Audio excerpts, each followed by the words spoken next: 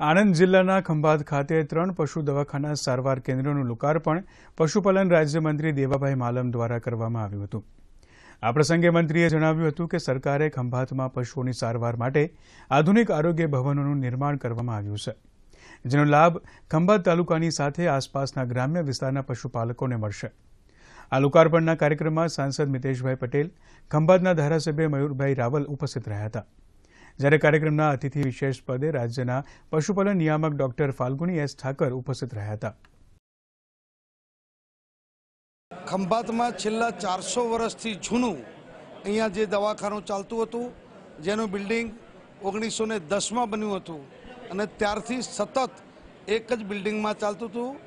એ જર્જરિત થતાં રાજ્ય સરકાર દ્વારા માતબર રકમ એક કરોડને છવ્વીસ લાખ રૂપિયા જેવી ફાળવીને અહીંયા આજના યુગ પ્રમાણેનું અત્યાધુનિક દવાખાનું બનાવ્યું છે.